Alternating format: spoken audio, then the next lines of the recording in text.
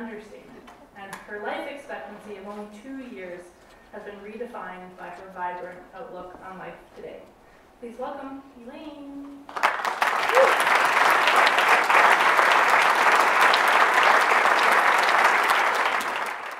Before I begin my real speech, I'd just like to say that I did not write a speech because I was so busy, I had so little time that I spent one hour before this presentation to actually writing. Uh, however, because I had no paper and pen I went upstairs to the third floor, turned on my onto the computer, clicked on to my slideshow,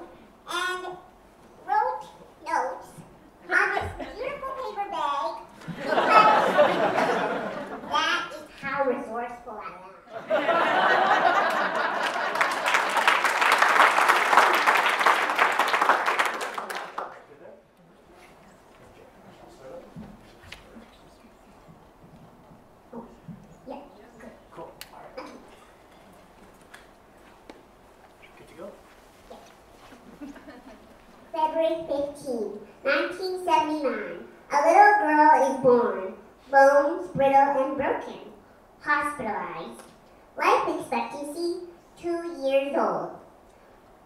I wonder who this baby is. hmm. I'm not quite sure. What do you see? Do you have any idea? I'm not quite sure still. I'm just uh, so intrigued by this eye because this is actually a photo of my eye that I took. and this is how the world sees me and how I see the world. You get a lot of stares from creatures of all kinds.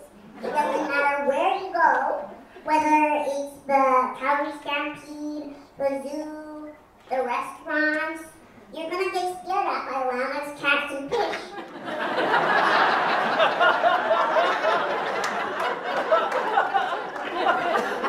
And you know, as funny as it seems, life in reality for me is all about falling through the cracks. You tend to go through so many challenges, you don't really know how your day is going to turn out.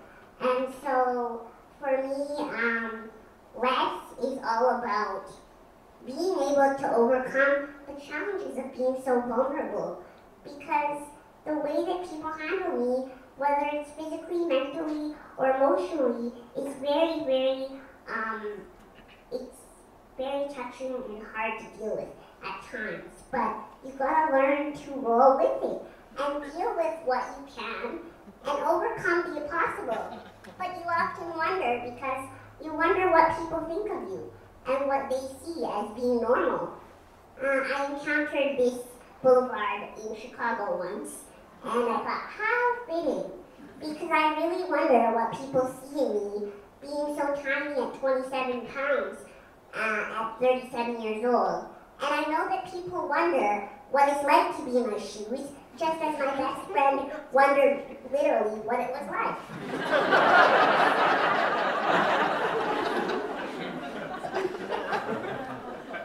yes, those are my feet and those are.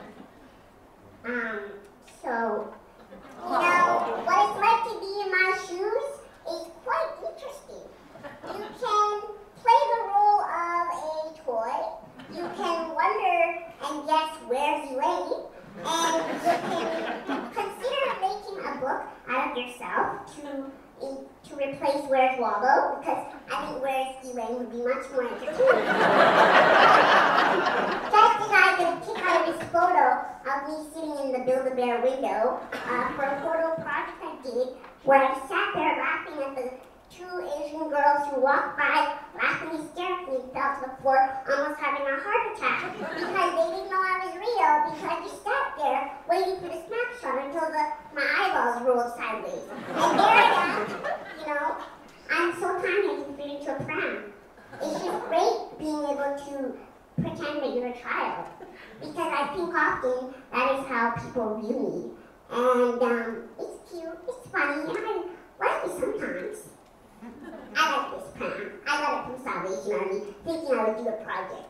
So most of the time, I think that people have this perception that I'm a child, and they don't actually understand that, uh, you know, that I'm not a child, but, you know, it's great when you go out to restaurants, you can order the kids' meal, and still get away with the happy happy meal, but I can also get away with senior citizen. because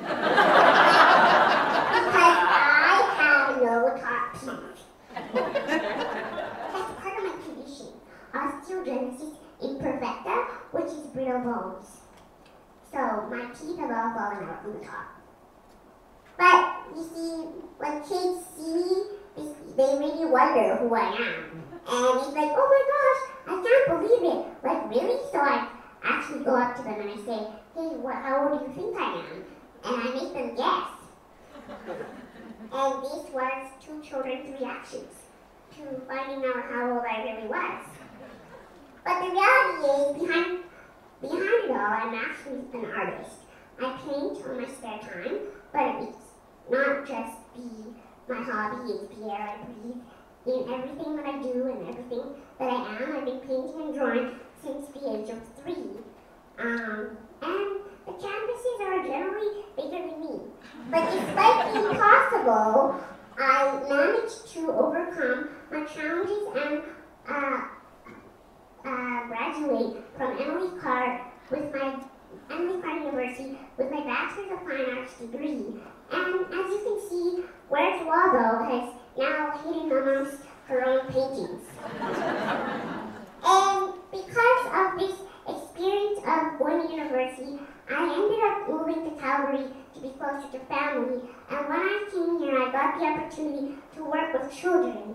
And this has been the greatest joy of my life because I think the children see me on all levels because of my petite size.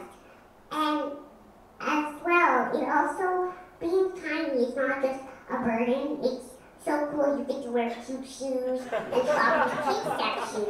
It's not always fun because you don't get the best selection. But look at those cute shoes. I to be next to Marco. That is really my life goal. and as cute as people think that I am, I'm really an angel in disguise. Because when I go to Starbucks, this is what they write on my cup. Everyone knows that you should never judge a book by its cover because looks can be deceiving. I like to cause trouble. and by trouble, life is no free ride. See, this is a car that I stole from, from Hope Redfield. And I uh, just wanted to say, you know, life is no free ride. You really gotta appreciate every aspect of your life because being tiny is not less for me. It means being able to open your eyes and see the beauty in everything all around you. And um, this is also for I took. Uh, thank you very much for being the joy in my life and this beautiful opportunity